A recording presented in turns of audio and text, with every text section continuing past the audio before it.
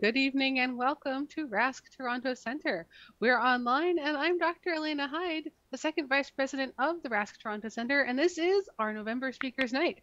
So it might be the last uh, presentation of 2021, but don't panic, as they say.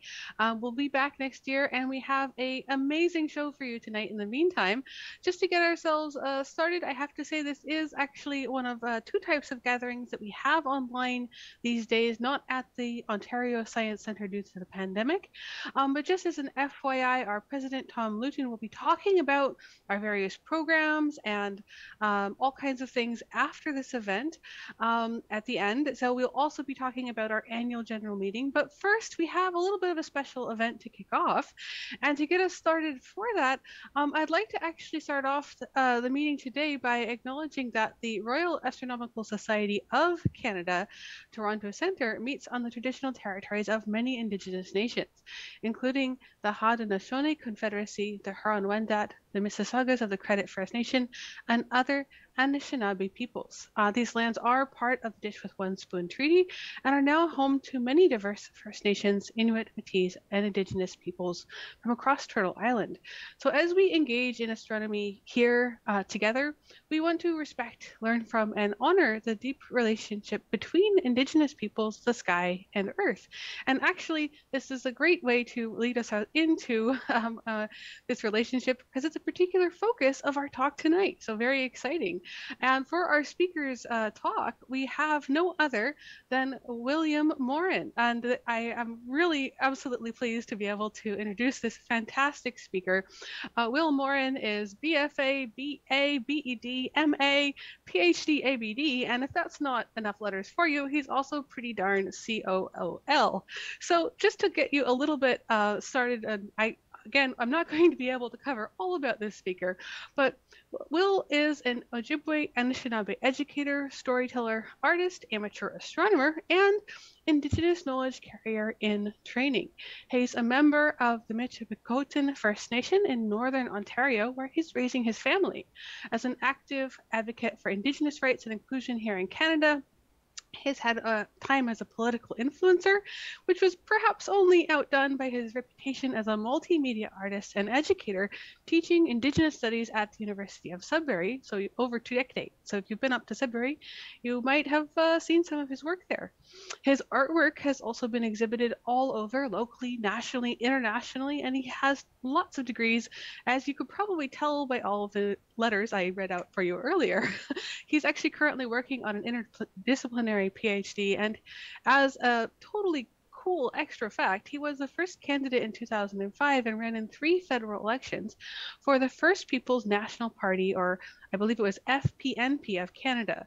Uh, we're not going to talk about that today, but it's a pretty cool fun fact. So in addition to all of this, Will also provides workshops and presentations throughout North America and Europe on cultural awareness, Indigenous culture, and he's got a wonderful reputation as an inspired speaker, which I think you'll see shortly, and brings all kinds of knowledge and wisdom to those fortunate enough to hear him. We are, needless to say, very, very lucky to have him here tonight. So I'd just like to finish off with one of my favorite quotes from uh, Douglas Adams, which reminded me a lot of this talk, uh, which is, uh, uh, once you do know what the question actually is, you'll know what the answer means. And so without any further ado or uh, extended introduction, I'll just say, Will, please take it away on this Indigenous perspective with our relationship to the stars. Greetings. So hello, everybody. Ani Bojo, Will Nosut Mangandas.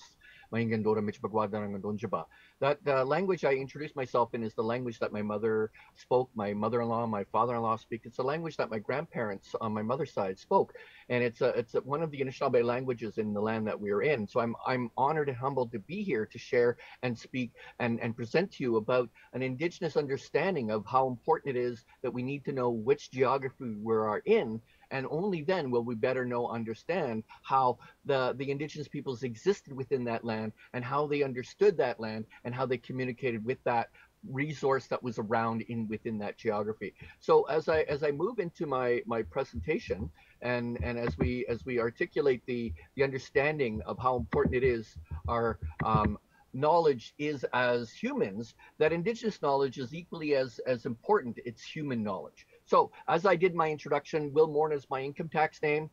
My indigenous spirit name is North Facing Wolf, and Wolf is my clan, and the community I come from is called Michipicoten or Michipicoadanung, which is on Lake Superior. And as we understand for indigenous peoples, it's that we as our creation and our creation story is not limited to just here physically on the earth, that for North Americans and for indigenous peoples, for Anishinaabe peoples specifically, our story begins among the stars and how important it is that those stars are not just simply specks in the skies or, or subject matters within stories. They actually have a relationship to our connection to the time and existence that we've been here. As we understand how we see through the seasons and the changes and standard constellations that most people understand. But the knowledge that is taught about constellations is European knowledge, but we're not in Europe.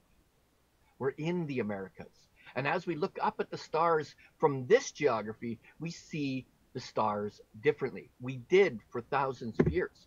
And as we understand that relationship to where they move and rotate around the, those those four seasons, we have that understanding that for every culture in every hemisphere, as they look up to the stars and wonder and imagine and they personify the stars that help define their worldview, to navigate the waters, explain their connection to the broader natural world, it's no different among indigenous peoples. But for indigenous peoples and, and, and the community that I come from, which is, as we see where it says Agawa Rock, it's north of that where you see Michipicoten just south of Wawa. That's where my grandparents are from. And the community that they come from um, is, is one of many along Lake Superior that just south where it says Agawa is where this pictograph is identified. Pictograph drawn on the rocks uniquely defining that relationship to the spirits, the animals, the water, the world, and the view of the stars from that physical location. And and I'll speak of this this being shortly uh, within the in the presentation.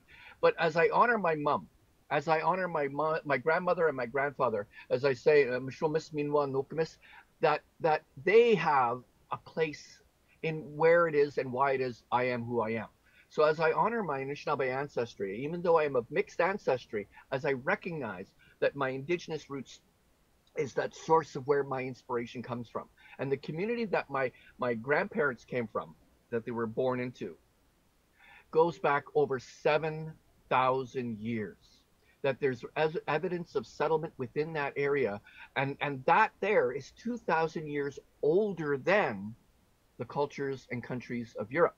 And so when we understand that, that these ancient cultures that lived in the Americas within these unique variations of geography had an understanding, had a relationship, had a, a, connection to those diverse geographies. And they would share and visit among each other. But the artwork that they would portray and, and produce wasn't just simply artwork, that these ancient patterns that we saw in the artwork and symbols and, and in their stories and their connections to the natural world that the key thing here is, is that that they were related to the spirit world. They were related to the stars above us.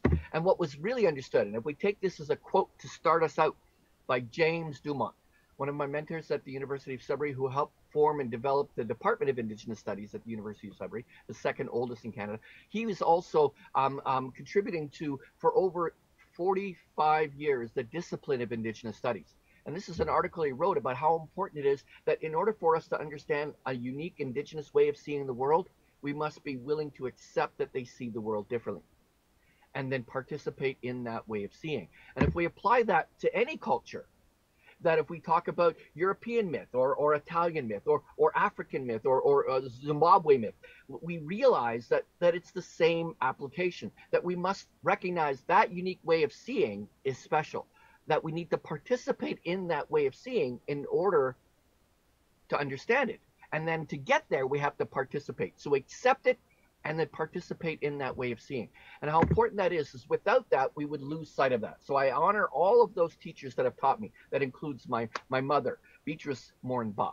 Ba, we would say when someone has passed on. And many of these other individuals that are still either with us or that have passed on that continue to teach me in their excitement and their passion of the language because it's through the language that has helped me better understand these stories that go back thousands of years and that relationship within the physical geography. Here's some of my artwork that echoes some of that relationship that that thunderbird, Nimki Bene Shi, that the word th- totem pole is actually an Ojibwe word, not a West Coast word. It's our word that was misused and used in, in Games of Thrones and other things. That there's so much about Indigenous culture that has been taken from us without our permission to sell and tell things, but they've never asked us. And so now I invite you to be aware of that, that there's so much out there that we can learn about Indigenous peoples when we understand their unique relationship to their geography. So here's the starting point. If you want to understand indigenous peoples, you need to first start their, with their language, as that is a connection to the earth, that is a connection to their surroundings. So our four directions, like a compass, like those four seasons that we see in the stars, okay, that they are identified by stars. So Anang or Nong, that word means star, and the word Eastern Star or the morning star, because Wabang Wabanung is star, Wabang is morning. Wabanung is that morning star. Jawanung, that southern star, that southern direction, that warmth of that sun, the southern star. That's what that beginning of that word speaks to. Epingishmok, Gawinang. Epingishmok means when the sun goes down. When the sun goes down, it's hard to see the stars because the sun is so bright. So the Gawi Nung, the Gawi means that there are no, and then the star. But this is the important one. Giwedanum, that north star doesn't mean north because the root of that word, giwe, means to go home or going home. So the whole word itself, giwedanam, means the going home star. And when we sleep, we dream. And when we dream, our spirit travels to the spirit world and visits among the stars. And that's the root of what I'm talking about is, is that in order to understand indigenous peoples, you need to understand their geography and their language within that geography, because it's that language that helps us understand the stars, to understand the environment, the animals, the plants, and so forth. And that's the kind of knowledge that we need today, especially in the era of climate change. Here's a symbol. Those that may not be aware it, it's called the medicine wheel. The medicine wheel is an ancient symbol that have been identified at being over 5,000 years old, carbon dated stones located throughout the Americas that echoes a relationship to the changing in the seasons and so forth. But if we look around, how many spokes on that wheel when you see, if you were to count them, and if I were to say, oh, oh, well, look down at the bottom right corner, how many phases in a moon? How many days between a full moon and a full moon? And you will see that same pattern of spokes on that wheel. And that's that relationship. But this is the connector. This is the relationship. That those four colors represent not only the seasons, but they also identify the stages of life child, adolescent, adult, old age. We identify them also as the stages of being. The earth uh, is, is, is where we're connected to, but we have to understand as a physical being, an emotional being, a spiritual being, as well as an intellectual being. But that symbol of those four colors also prophesies something. That five 5,000 years ago, there was a prophecy that all those four colors of humankind will come to live here on Turtle Island, with North America identified as a turtle. And many indigenous tribes have that relationship. And the patterns on a turtle's back, if we look at the, the, the plates, that those larger ones in the body of the shell are 13 large shapes and that if we look at the outer edge of the shell and we count them, there's a total of 26 smaller shapes, plus the head and the tail make 28. And the patterns within that is that there are 13 28 day cycles in the four seasons. And that the prophecy was that all of those four colors of humankind will come to live here on Turtle Island. And that prophecy has come true. If you just look anywhere around any metropolitan city within North America, and you will see every human culture and DNA exists here. But where outside Turtle Island will you find Native Americans? Nowhere. Because that was our prophecy for us to welcome and the return of our brothers of the other colors. And we understand that within our creation story, if we look at those four those four planets and the Earth being the third rock from the sun, that we see those four planets that identify where they are in our creation story. We have stories of that a time when the Earth was too cold, when it was too wet, when it was too uh, hot, and then eventually the Creator gathered all of those elements and created an Earth that was in balance. And that is the one that we are on in the fourth world. So these are stories within our creation, within our creation, creative stories, our creation stories throughout the, the Americas. Indigenous peoples recognize that it doesn't begin with what our existence is here on the earth, but our time among the stars. And so when we see that those art forms that were created, whether they pictoforms or pictographs or, or petroglyphs, that these were forms that were created not to match the couch, not for decorations designs to be hanging on our rear view mirror. That when they created these designs and this, this, this artwork, it was to hold that knowledge for future generations. They were timeless messages within this artwork that these images that were designed, they were intended to communicate beyond space, beyond that understanding of what you would see of as, as that clinical time, linear time. Because for indigenous peoples, we would have an understanding of both the past and the future simultaneously within the present. And we would, we would have access to that. So these art forms, and that one that I show you there on the right hand side is is Mishapiju, which is painted on the rocks, and and one of the beings that he lives within the Lake Superior as one of the great spirits that live on the land. So we have our human spirits, and then we have these greater teaching spirits, these larger spirits that can communicate messages. But some of our artwork communicate our relationship to the natural world, to the animals and the plants, to the fish, to the serpents. And these beings teach us and tell us that understanding. So, in order to fully understand an indigenous person and to teach indigenous students, is that we need to teach them as a whole being. And if we apply that same knowledge to indigenous, to all human beings, that indigenous knowledge is human knowledge, and we apply this to all students of all cultures, that we need to teach them as a whole person their mind, their body, their spirit, and their emotion to better understand them because that's what's key to be a balanced, a balanced healthy being. But in our language, our language being a tool to help us recognize those patterns that we see in nature and among the stars and within that unique geography is that we see that relationship and that language guides us through that so that that that relationship within the unique geography within our respective territories on turtle island and that language so our traditions root us to the land root us to the spirits with the stars and the cosmos and so that's the key. But the message in all of those teachings is the, the lesson of staying balanced, to live in balance on this sacred land. And so, if we understand this again back to the medicine wheel, how all of those components that are associated within those teachings of a simple circle divided equally into all colors, four colors. And if we recognize that each color is equal, my question to those of, of, of academia and institutions and, and, and, and governance and, and bureaucracy, which color is our education? Which color is our governing system? Which color is our industry system? And, and that's where the problem lies. We need to open up to understand the geography and the teachings within this geography. And we see that that teaching here is that we need to have more of our brothers and sisters of the other colors included in the decision making within our schools, within our, our hospitals, within our governing systems, within our institutions. Then we would have a much more healthier, balanced environment, and we would be able to better challenge what is causing that problem called climate change. And so these again, bringing it back to those words for those different directions, Giwedanong for that north doesn't mean North Star, it means the going home star.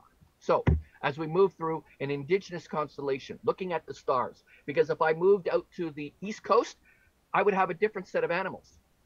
If I moved out to the prairies, I would have a different set of animals. If I moved down to, to California, I would have a different set of animals because those geographies would ask those indigenous peoples to see the constellations in different ways because we look at them and we see them in the way we do as humans, as was done in Europe, and creating these forms and beings and anthropomorphize those structures in the Americas and in within the woodlands, the Ojibwe saw these animals.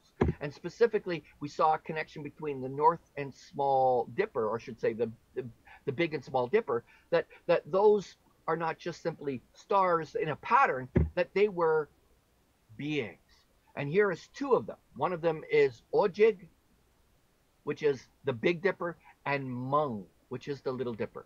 And each of these beings are also animals within our clan system among the woodlands. And we have a seven star clan system with subclans within them. And these are two of them. And one of them, the loon, in the small dipper, which carries the North Star, is one of our leadership clans.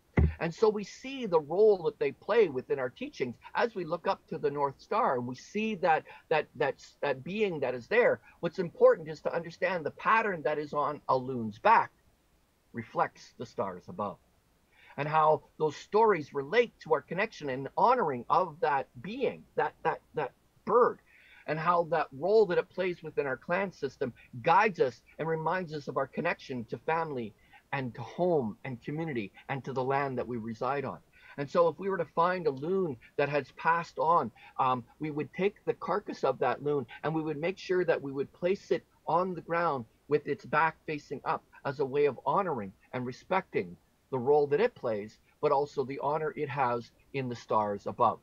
And we see the the the, the loon itself as it represents all of those tools and all of those teachings its pattern in our mythology, we see that those stories remind us of how important it is that we not forget where we come from, which is among the stars and within the environment. And we are part of that. We are both of the earth and of the stars. And those beings of that little dipper, um, that that North Star within that role is a reason for why they are also one of the leadership clans in our clan system because they guide us. They remind us of where we come from our home, family, and community. And so, as we understand that the Ojig, the Big Dipper, and the role that he plays, and a story I will share a bit later, how important it is that they recognize as part of the clan system is that he is one of our warriors. He is one of our protectors in our clan system. And how that role that he plays, as the function that he plays within our stories, is how important it is that each of these animals has their own story. You know it as the Great Bear. If I went to the Cree, they see it as a bear. If I go west to the uh, to the to the prairies and to the mountains, they would have a different animal. If I went to the east coast, they would have a different animal. And so we need to know the geography to know the animal, to know the story, to know the constellation. And so the connections here is reminding us of that relationship. So like that pictograph of Mishabiju, Mishabiju or Curly Tail, the great panther, you know of as Leo, the lion. And that cancer constellation. But for us, Mishabiju is a spirit being that lives within the Great Lakes and travels around and communicates and is, is a messenger of many things. And that time of survival is that what he wrote, what he plays. The connection here is Bijou means lynx. Mishabiju is that Great Lakes, or as some may refer to, is our freshwater dragon. And a being that has that appearance to still have been around during the time of the dinosaurs. And that's the stories that we speak about, that many of our people have stories that go back thousands and thousands of years. And these are how they are continuing today, connecting us to the past and to the future, to the cosmos and to our natural world. And so here are two more of the constellations of uh, a Jajak, which is the crane, and you know of as uh, Cygnus. But for us, he or she is one of the other leadership clans. And the role that, that, that she plays is in guiding us and reminding us of all of those connections. And so, as a constellation overhead, that time that we see it in that summertime reminds us of the role that they play and the migration that they play to travel and journey far and reach beyond our boundaries in order to gain appreciation and respect for those that are not who we are, to gain an understanding of other. And that's that connections that we need to have that both internal and external roles of understanding of our environment. The moose in particular you know of as pegasus and and we see that moose now this time of the year. It is hunting season and the only time we would hunt this animal is when we would see its constellation in the sky and how important it is that that moose would provide us for that food and that clothing and its its pelts for its shelter. All of those parts of that deer would be utilized in some manner as a way of respecting that animal when it would give it of its life for us to survive. But we would not hunt that animal in our respect for it in the spring or in the summer or during the winter. Because if we do so, we threaten its survival. And we honor that and we are reminded of it. So now the stars become our teachers and reminders of those cycles that come, those patterns that come, those changes that come. and how important it is. And so when we are not honoring that environment, that, that geography and the balance of, of that environment, then that environment will respond back to us and we will suffer. We will hunger. We will do without because it's the environment that reminds us how to stay in balance within it. And that's the core of indigenous culture. So we see another symbol within that uh, constellation of the Anishinaabe within the woodlands and that geography is that it's called the sweat lodge or the the Doswan, which is that that that uh, exhausted bather. So the, those individuals that would go into the sweat lodge, and the sweat lodge is a cleansing ritual, sim among, similar among the, the, the, the sauna of the, the, the Finns and northern cultures of Europe. That this was similar in that it was it was a, a dome-shaped structure that you would go in, hot rocks would be brought in, but there are so many ceremonial teachings and traditions and protocols associated with it. But it's a mimic of when we were inside our mother's womb. And when we are coming full circle and we are preparing to be reborn again, that this tells us when we are to do that cleansing and that rebirthing, and that we don't need to be doing it all the time, but we need to do it when we've lost our connection to our mother, which is the earth. And so these are the examples of when we need to prepare for that cleansing and to prepare for that rebirth and that would it be identified. If you see it located within the constellation, it is as it's at the end of spring as we move into summer. And that is when we would prepare for that cleansing, that fasting, and that purifying of the body before we enter into the new food season of summer and fall. And so these are the ways in which our culture had ways of keeping us healthy to survive. So there's that physical, that spiritual, that emotional, and that intellectual understanding within one ceremonial ritual of the sweat lodge. And and we see again the the as I mentioned earlier about uh, um, um, uh, I, this is a, the wrong image that's in this in this slide, but it's it's uh, Nana Bojo is uh, the image that is um, uh, associated with that form is the great hunter, and I'll show him. I'll show you him uh, in in if we took a, take a look at the top corner of the slide that is up there now is Nana Bojo is a uh, a great hunter, but he is one culture. Other cultures refer to him as Jajak, or he's just identified as a great hunter. In the Ojibwe and among the woodlands, he is identified as this great hunter or Nana Bojo. In our traditions, in the wintertime, when there is snow on the ground, when all of the spirits are resting, it is their time, their time to rest. And it is only our time to speak of them because if we speak of them at any other time of the year, we invite them to come. And if we are just saying their name and we invite them to come and we don't honor them, they will play tricks upon us. And that Nana Bojo is that trickster and the role that he plays and how mischievous he can be. And he comes, he comes at all times of the year, but it's in the wintertime when Kababun Nene. So Babun Kinene is that winter maker, what you know of as Orion in the role that he plays in bringing that change in the season for that winter time to come, that we can take that time to rest, that we can take that time to huddle close together as family and share. And COVID is an example of what has been done to, to many people across the globe that have forced them, because of isolations, to be closer to family, to be closer to home, to share and to reduce our impact on the environment and, and share our resources and share our stories. So the key here is understanding is that there is truth in the connections to the stars, to the unique stories within those specific geographies. For indigenous peoples, it was just our way of being respectful to the environment we are in. And so we understand the stars, we understand the constellations, we understand the, the, the, the mythical beings that are within those constellations, but we need to know the geography that we're in. Now, Here's some Ojibwe language. And at the end of this, I'm going to give you a test to see if you remember any of these words. I'm just kidding, but you can try to learn. So here is some Ojibwe words. The word for earth in Ojibwe is ki or ake. Look at the rest of these words and what they relate to within the Ojibwe language. The word itself is in the word for color, brown. The color brown is kionde, that color of the earth. To teach, who's our first teacher? Our mother. And who's our first mother? the earth. And that is kinomage. Mother Earth is shkake mekwe. We look at the word for medicine. Medicine. Mishkeke.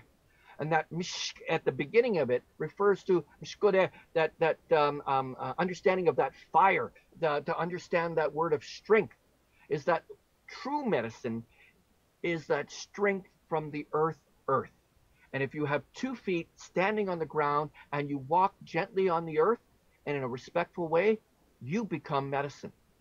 And when you are walking on the earth and you are doing it balanced and you look up, then the stars become medicine to you.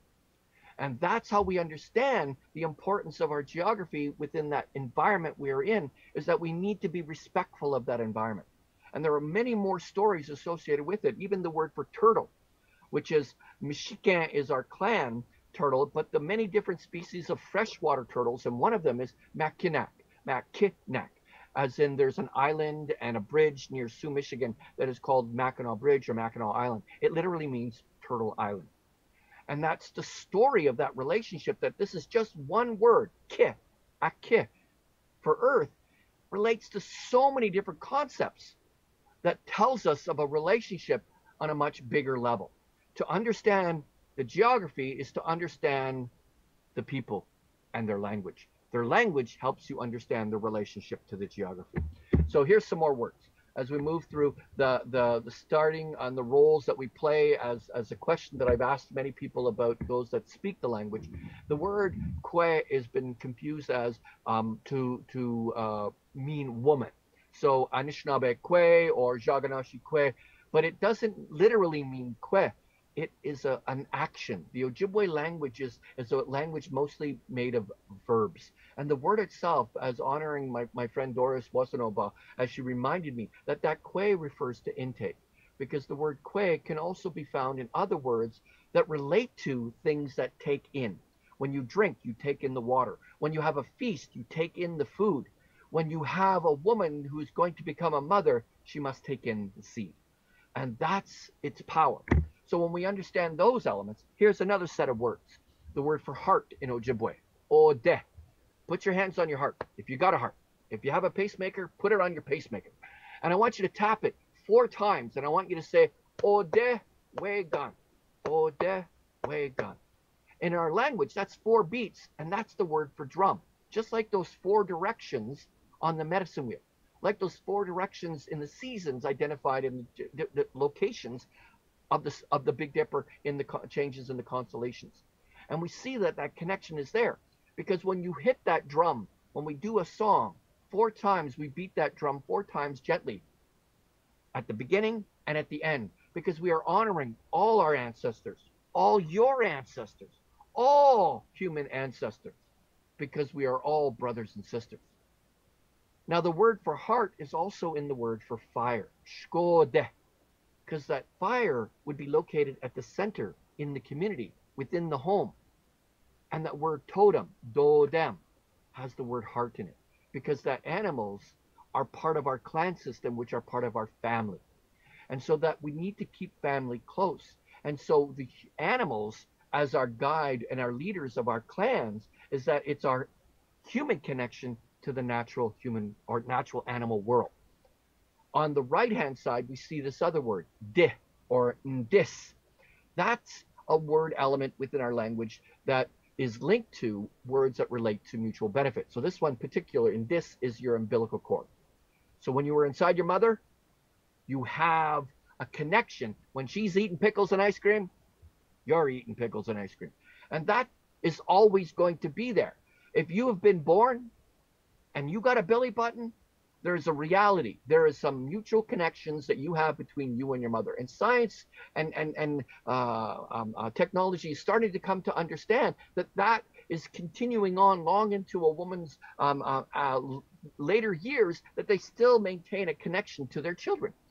And it's that understanding is, is that our language that is thousands of years old already knew that. And here is a connection that di in there refers to that mutual benefit because in our language, as we see many of these words, and I'm going to talk to you a story about the umbilical cord and the placenta. So I'll get to that in a, in a few seconds as we relate to our teachings and our traditions in the language.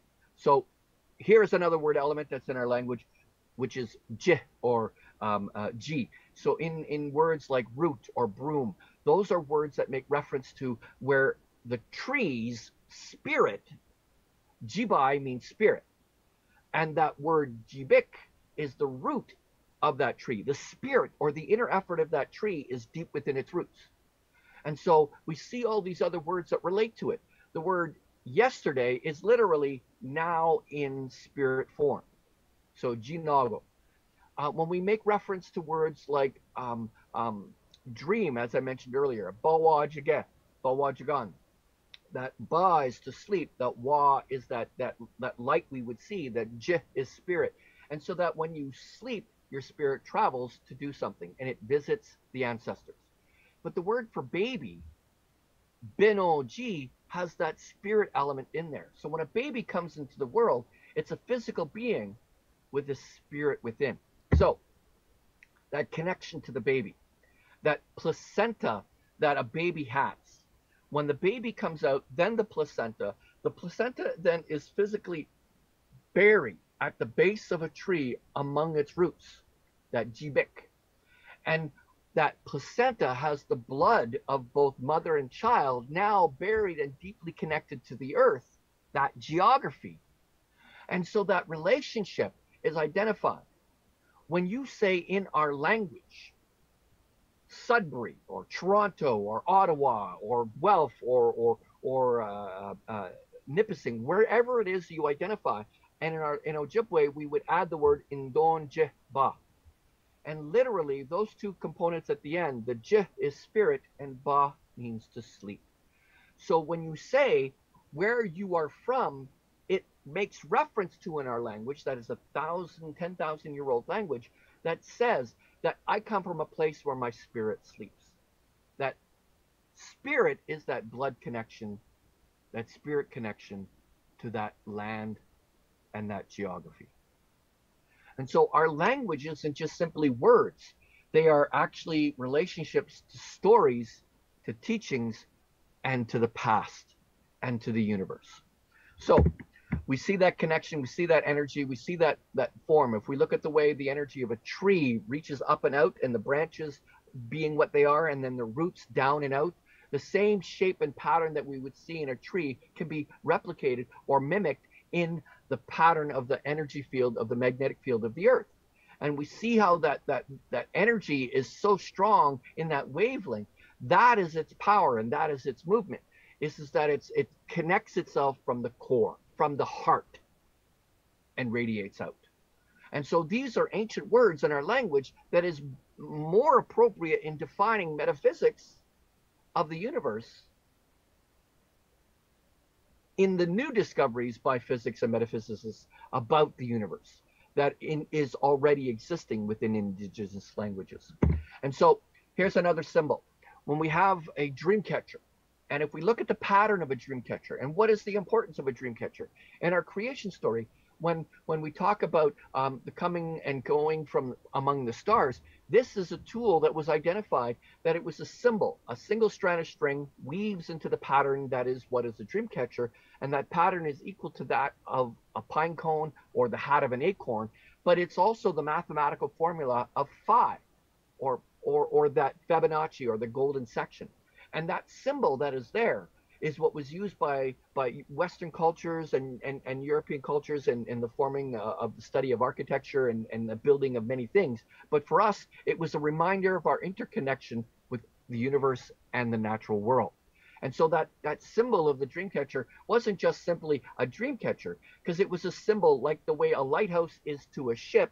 The dream catcher is a beacon for the spirit to make it able to return back to the body when it returns from the spirit world.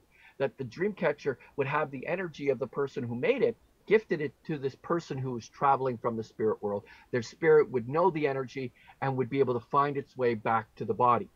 And the bad dreams, as it catches bad dreams, it actually catches that which is not sure or misguided or lost spirits that may not know the energy of that dream catcher.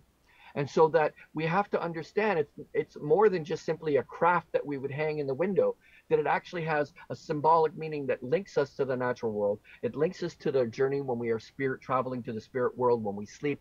But also, if we look at the dream catcher and we hold it upwards above us, flat, looking at the stars, the Dreamcatcher is also a star chart, and that it's designed to help us as we guide our way through the stars. And so, just as a quick recap, the, the those among the woodlands we identify as the woodlands, the trees, the mituk oak, the mitik, the, the, the plant life, the zokigan, um, and that the earth, the ki, the king, and that that the among the woodlands we would use those trees for our wigwams, and we would use them for our medicines, which is the mishkike, and that nijam for that food, and then all of our connections, that connections that link us to the earth, that is its relationship, that is its connection.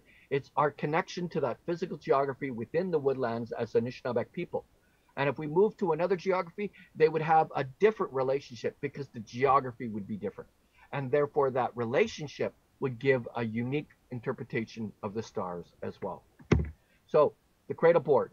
If you've heard of the word uh, cradle board before as an image, the Tikanagan, tick means tree, and noggin is a carrying container.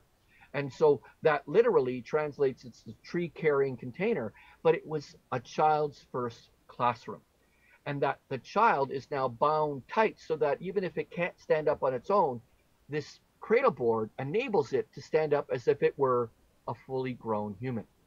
So that that spirit in that baby is equal to the spirit of an adult.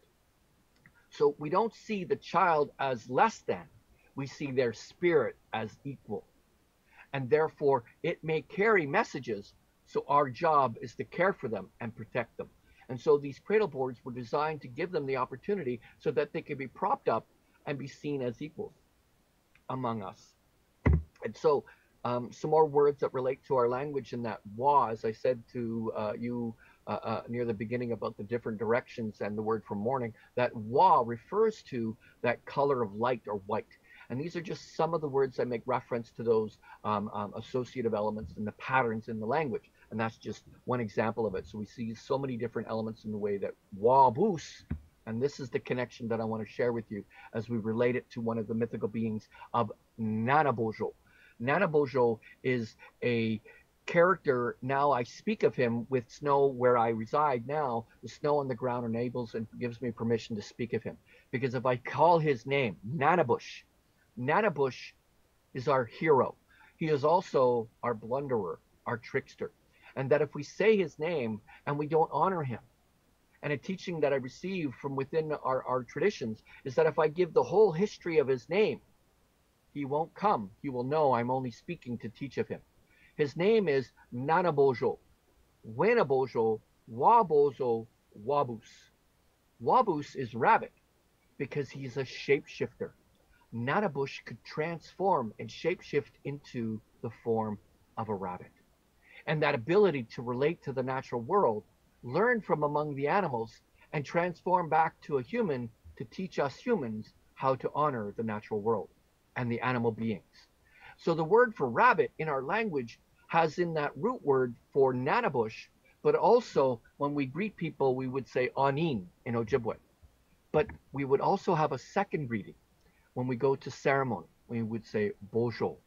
Bojo acknowledges Winnabojo, Nanabojo, Nanabush, that first human being we honor by saying his name in ceremony, that we say to each other that come from that same common ancestor.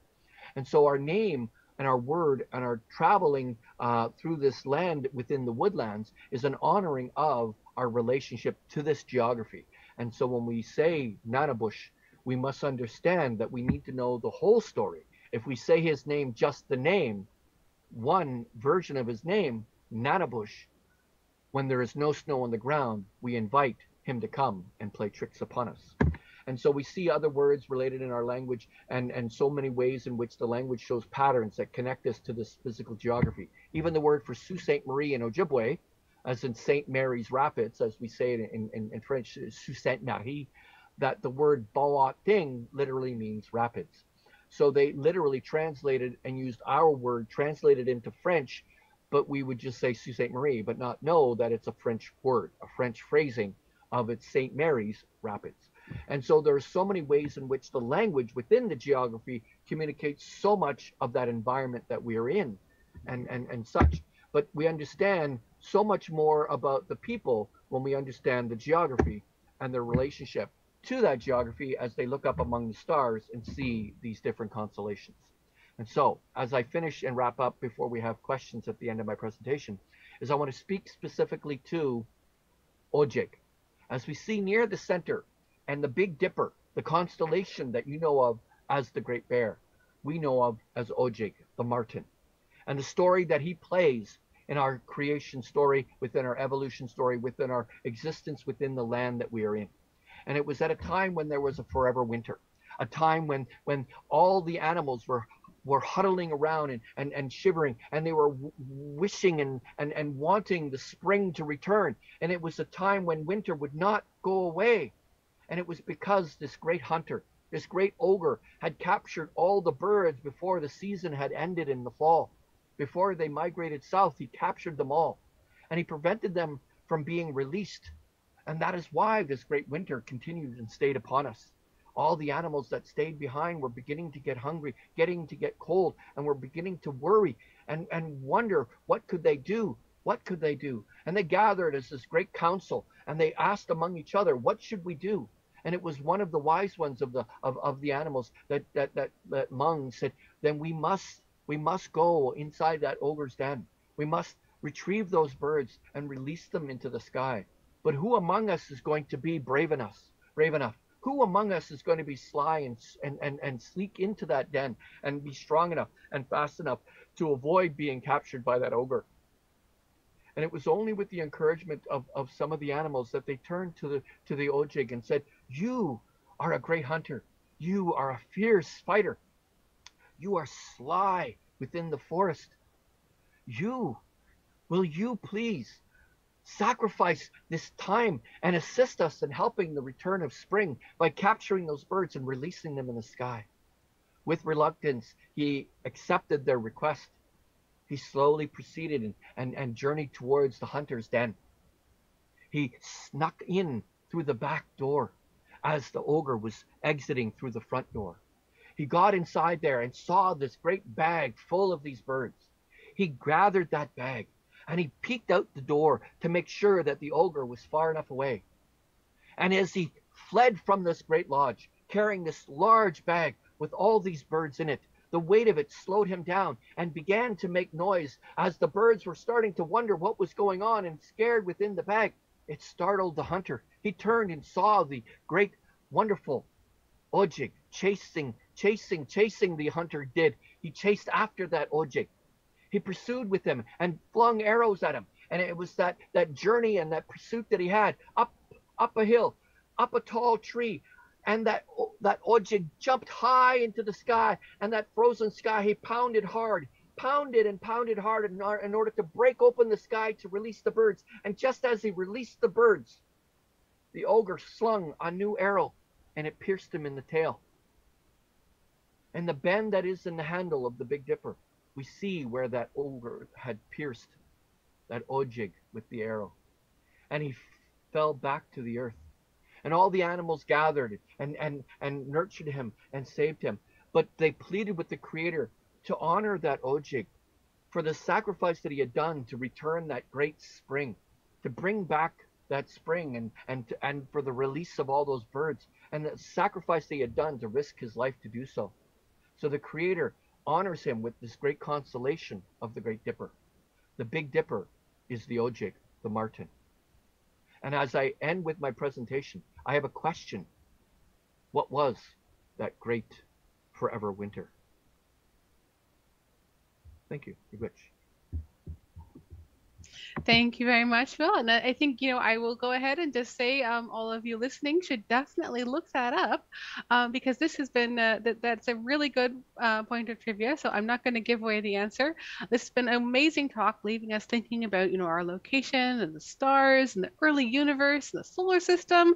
And of course, the knowledge preserved here. Um, and, you know, it's worth noting that today we have problems reading even magnetic tapes from 100 years ago. Um, but the stories here that you've heard are just a, a, few, and they go back, you know, as mentioned, possibly thousands of years. So I'd like to, or tens of thousands of years. So thank you very much, Will. Um, you've given us uh, quite a bit of vocabulary. So, um, you know, any uh, linguistic fans in the audience will have had a really good time. I do recall we had Ki for Earth and uh, Mishkiki for medicine. So I'm trying my best to learn along with you. Uh, we do have a few questions coming your way. I'm not sure if we'll have time to take all of them, okay. but we're going to try for a few minutes worth. Um, so let's go ahead and try to get up our first set of questions. So the first question was a little bit of a comment, actually. Okay. Um, and this comment comes from uh, Eric Briggs. Um, okay. The Serpent Mound in Ohio in yes. the previous slide. Yes. Uh, or the earlier slide um, that's within the Serpent Mound impact structure, which is several hundred million years old as a. We oh okay okay give me a second there. I apologize. I I figured uh, the. Um... We'll just take a short break here then. Yeah. I think. Uh, so we're just uh, we'll just take a short break for a small technical difficulty, okay. but we should be back so, any second now. All right. So my, are we my, good? Are we good now? Okay, so people Excellent. can see me. There we go. There we go. Okay, so the the the serpent mound itself, and that's where one of the things that we have to understand is throughout the Americas, the serpent itself represents many things, but similar things, and you can see them identified in pictographs all over the Americas. And and it's no coincidence that if you looked at the pattern in that mound in Ohio, that I could visually point out, like I, I do on my fingers here, that we would see the the shape within and we would see a pattern of 7 and 13. We would see the bends in the pattern of the serpent relating to our symbols and patterns within our teachings of the importance of, uh, as for the Ojibwe, the seven grandfather teachings or the 13 moon teachings and so forth. And so the connection is, is that those natural forms were also natural pattern teachers within our traditions. Wonderful, and uh, we do have a second question also from from Eric. So will go see if we can do it quickly. Okay. Um, asking about the books like the Golden Bough. Um, sort of jumbled up a lot of First Nation stories and uh, facilitated a lot of cultural appropriation. Um, is there still any value in those old uh, in those old books, or would you uh, maybe as a second backup? Do you have references that you might recommend um, yeah, as a book references? Yeah, if you if you type in native sky watchers, just that as a as a simple quick search, you will find a lot of other current stories specifically to stars. But bringing it back to one of the things that I, I, I echo is, is that if I were to go and talk to somebody who was French, and they were trying to tell me a joke and they tried to translate it into English and they're talking to their friends that are French, they would say to each other, uh, I can't translate it. It's it's just it doesn't translate the same way into English. And and when we say that, it's also in that that incultural knowing is, is that when an elder comes, you know, you know, you know what I mean, eh? You know what I mean. The elder is not the know-it-all, that they are hoping that the people in the audience are carrying some of that knowledge.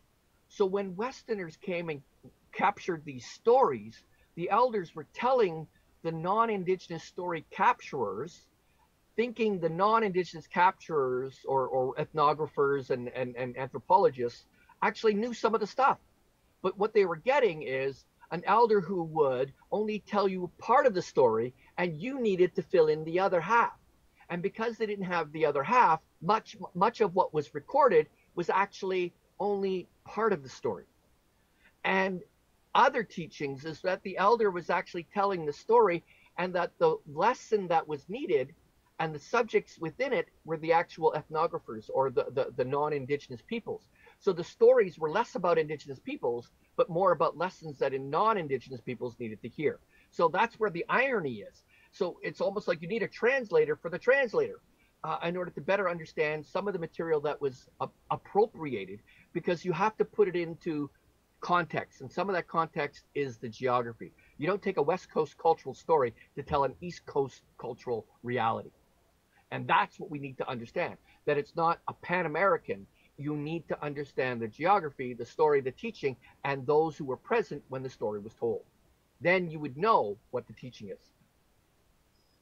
Excellent. That is a wonderful resource to recommend as well. Maybe we'll try to get it uh, put into the into the chat as a link. Um, now we have time for maybe just one or two really really quick ones. Okay, I'm looking it. at the times uh, dicily here, um, but th- there's a great question from Betty that I just wanted to give you here. It's it's clear that Indigenous people have a powerful spiritual connection to land and the sky. Um, in today's society, is it hard to keep that connection?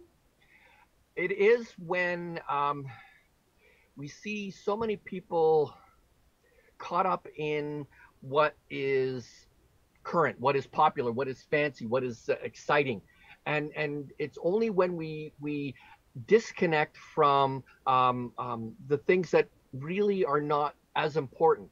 When you when you uh, are, experiencing uh, a life changing event, when you're going through a trauma, and and I'll tell you, some of the most humblest people in the world are individuals with a disability or people who care for people with disabilities because they begin to realize what's really important and watching the Kardashian Kardashians is not one of them.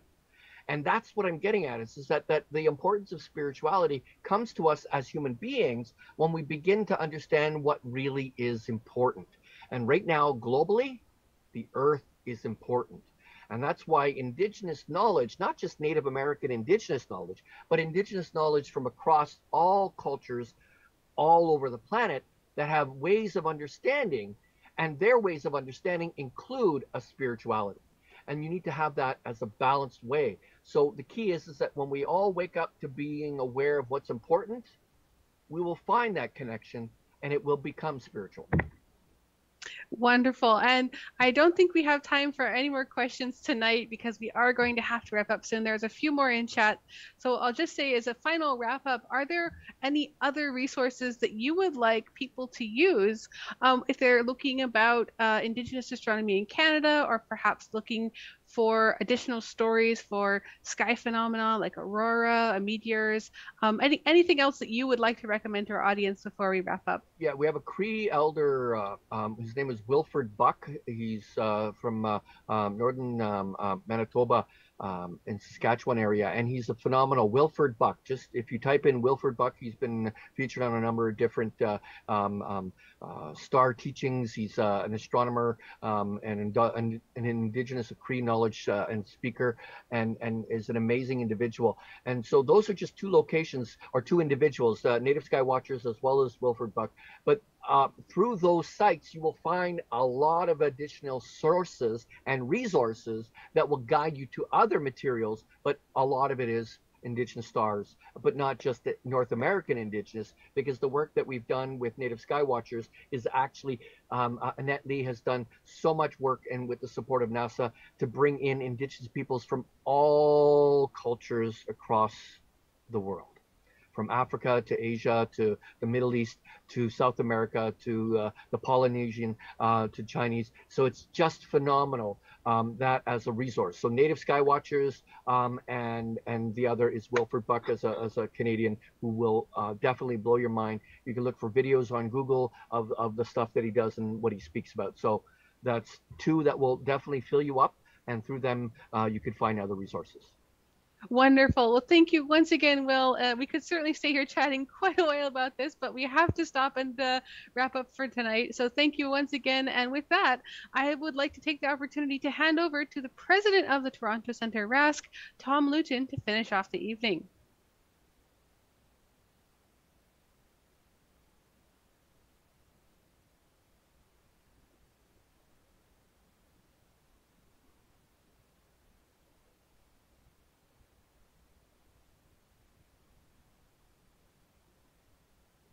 Can you hear me now? Okay, awesome. Well, good evening, everybody. So, uh, quick announcements tonight. So, as Elaina was saying earlier, we've got two types of meetings going on. We've got our recreational astronomy nights, and we have our speakers nights. Uh, both of them are live here on YouTube. So, um, and we would love for you folks to come by and watch them live, or you can watch them later on. If you do see them live, please say hello in the chat. Uh, please enter some questions for the presenters, as others have done. If you're a new member, please introduce yourself, and if you're visiting us from far, far away, please let us know where you're from. So our next recreational astronomy night is on the 1st of December. Andy Beaton will be handling the sky this month. Uh, Reza Mohammed will be discussing how I stack and process my astro images. And we still have one open presentation slot. So if you've got an idea of something you'd like to present, please drop a line to Paul Markov. Now, there's no speakers night meeting in December due to the holiday season. Our next speakers night is going to be in January, and details will follow. Uh, coming up to DDO uh, in the next couple weeks, this Saturday at 7:30 p.m. Uh, online is our very own Dr. Roberto Roberto Abraham discussing cool stuff we discovered with Dragonfly, the many lens telescope. Uh, you have to register online. It's a $12.50 fee. Uh, next weekend, on November the 28th at 12:30 p.m., Sunday stargazing. Uh, it's $678, 678 uh, registration fee. Register online. Links are at rascto.ca. Now, um, this is both some sad news and some good news. You'll recall that our good friend and longtime Toronto Center member Peter Hiscox passed away in the summer of August of 2018. And the reason I bring this up is that last week, the Minor Planet Center announced that uh, in honor of Peter's long work with the RASC and with uh, light pollution abatement, asteroid 10073 has been named Peter Hiscox in his honor. Uh, originally, asteroid 1989 GJ2, discovered in April of 1989 by E.W. Elst at the European Southern Observatory. Uh, the official blurb put out by the MPC is that Peter Hiscox, 1945 to 2018, was professor of electrical engineering at Ryerson University in Toronto and an expert on illumination engineering. He was an amateur astronomer recognized for his advocacy of light pollution abatement and was chair of the Light Pollution Abatement Committee of the Royal Astronomical Society of Canada, Toronto Centre. Uh, a few additional pieces of information about this asteroid. Um, it's a main belt asteroid uh, with a 3.63 year orbit. Uh, its distance from the sun varies from 2.1 to 2.63 astronomical units, and its brightness puts it into between about 16th and 19th magnitudes. So, unfortunately, it's a little too faint for most of our astronomical gear to see it. You're going to have to use some fairly significant uh, horsepower to get a look at this. Um, so, uh, fingers crossed that in the future we in the Toronto Center will have a chance to do an asteroid occultation involving this asteroid and uh, get add a little more information uh, to the record for asteroid 10073 Peter Hiscox. And speaking of observing, uh, this is where I get to plug our observing certificates program. If you've been busy over the last few months uh, looking up at the sky, and are you almost done with your certificates? If so, let us know, and so we can get you the paperwork certificate and the nice shiny pin, examples of which are here on the side. Uh, some of our certificates are Explore the Moon, Explore the Universe, Messier Catalog, the finest new general catalog, of objects, double stars, the Isabel Williamson Lunar Certificate, Deep Sky Gems, and Deep Sky Challenge objects. More details at rasc.ca slash certificate dash programs. Education and Public Outreach continues uh, their work online uh, and also with virtual star parties at the Science Center, Millennium Square, David Dunlap Observatory, the O'Connor community, with the Dunlap Institute, and with Brownies, Cubs, Scouts, and school groups. Um, if you would like them to do an event with you, please contact public education at rascto.ca. Our observing sessions are still suspended until further notice as a result of the pandemic at Victoria, at Bayview Village Park, at the Long Sault Conservation Area, and at the Ontario Science Center. The CAO is open for bookings. However, it started to snow, so that means that the road, uh, if it isn't closed, it's going to close fairly soon. Um, uh, site occupancy is currently limited to 10 bookings up to 25 individuals. One uh, person upstairs in the house, and the rest uh, involved in day use or not staying or, or independent camping using RVs. The Sue Laura Observatory is open. The Jeff Brown Observatory is still closed. Full details are on the website. Please read everything before making your booking. This is where I get to plug RASC membership. Uh, if you're joining us as a guest, um, have you ever thought about becoming a member? Uh, you can join or renew online at secure.rasc.ca. Uh, if the COVID pandemic has thrown your finances for a loop, the RASC does have an emergency fund. Uh, and the holiday season coming up, we also sell gift memberships. Details for both can be found by contacting mempub at rasc.ca. Now, tonight is our annual meeting. Um, it will begin in approximately 10 minutes after the end of our session here on YouTube. Registered participants have received their Zoom links already. Uh, just a reminder that we need 25 members to conduct business, and so if you signed up to attend, please do so. And for everyone else, I'd like to thank you for joining us. Uh, please follow us on all the various forms of social media. If you liked what you saw, uh, please like and subscribe and click the notification bell. Have yourself a good evening and uh, keep safe and keep looking up. Good night, everybody.